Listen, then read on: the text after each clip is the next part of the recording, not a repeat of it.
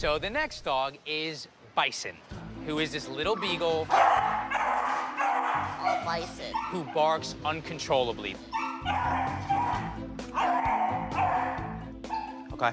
People really can't even meet him because the minute they hear his bark, it's like they're running out the door. Like when we are in the boutique, you know, we will have multiple dogs down there showing people. So the minute he gets in there, it's over. They want to introduce Bison to families because he's so cute and so sweet, but the shrieking starts and the families are just turned off. So he acts out in the boutique? Yes. Okay, so I want to go down there and see that. If we could just make that little adjustment, get him quiet, he's going to get adopted.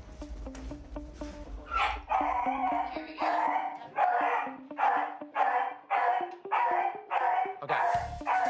So this just goes on. This is when you want to introduce him. Every time we try to show him for adoption, this is what happens. Come here. And then here. the adoption applicant usually walks out the door Yeah. right there. Sit down. Bison, sit. So I'm making this a positive experience. I've got the head collar on for a little bit more control with him. Wait. Sit. Come. Right there. Stop. Bison, sit. Thank you. You don't, and they don't. Okay. Right there. Relax. Okay. So just a little bit of. You, know, you see. You see his breath. He's getting a little excited. Right. I just keep him calm right now. Let her do what she does. We use the head collar, ask him to sit, get his attention on me, and I'm just asking him to not react. Right. Once he was calm, we can just move him forward through the introduction, quiet as a mouse. I just don't want the barking. Come here, come here. Right here, sit. Beautiful. I'll let you do it. Okay. See- Bison, can you sit? Good. Good sit. It's great. Now Good here's the other. Now here's the other thing.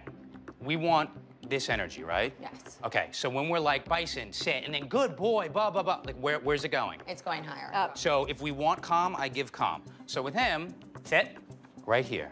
And I mm-hmm. stay right in here with this. She can go a little berserk, that's okay. And I just keep him right here. And if I want to reward him, it's just calm. Okay. All right?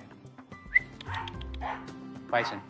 Bison's been here the longest. The howling was the thing that was turning people off from him. If I met this dog, I'd be like, this is the quietest beagle I've ever met. Right.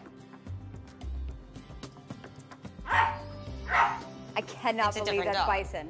He's a different dog. Seeing Bison on the floor, quiet, when there was all these other dogs around and people was one of the greatest things I have ever seen here. Like he would have been gone weeks ago if he acted like this. Yeah. Come here. I fell in love with Bison. Certain dogs just get me that way, and Bison got me that way. I want to get this dog adopted. All right, so I'll introduce him. If you have a family that you want for him, I'll do it. Wonderful. Training with the staff here was awesome, and I was so happy that they had a positive experience and that we were able to work these dogs' issues out. I hope every dog in this shelter gets adopted. I'm gonna get you home.